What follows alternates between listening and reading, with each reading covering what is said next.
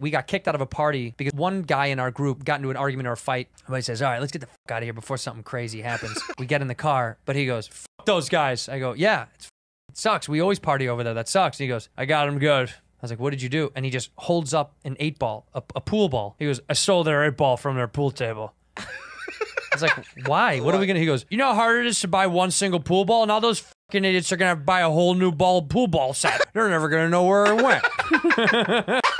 really? that was his revenge.